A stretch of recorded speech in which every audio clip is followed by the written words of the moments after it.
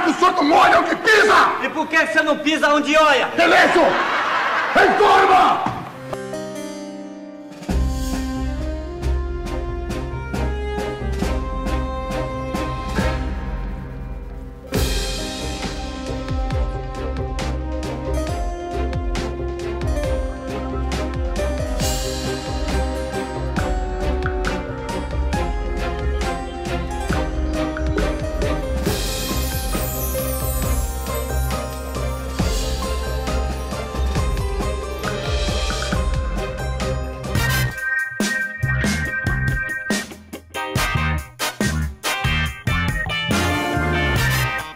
Olha, eu cansei de ser o vice decorativo. Até porque, sendo o cosplay do Hugo Chaves, eu não tenho decorado nada no Jaburu. E já vieram me perguntar quanto eu cobro pra assombrar o apartamento funcional da Glaze Hoffman. É claro que eu até passei orçamento, né? Fazer um bico nunca é demais. E nessa idade, eu já não posso mais ser guardiã de mercado.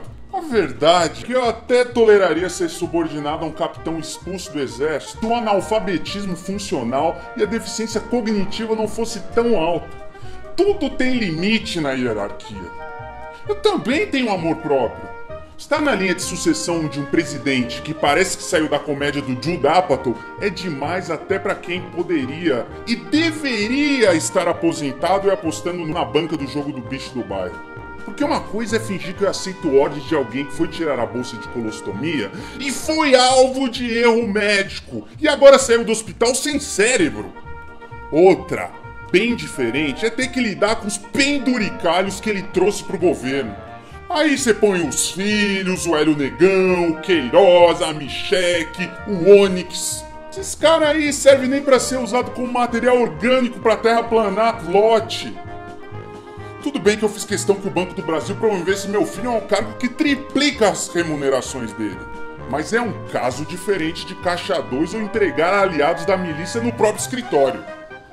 Meu filho foi perseguido pelo PT e só recebeu oito promoções dentro do banco nesse período comunista do Brasil.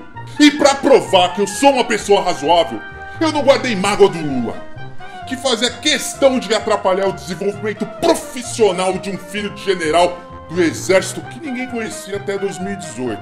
Por isso eu faço coro para que ele seja solto. Tá bom.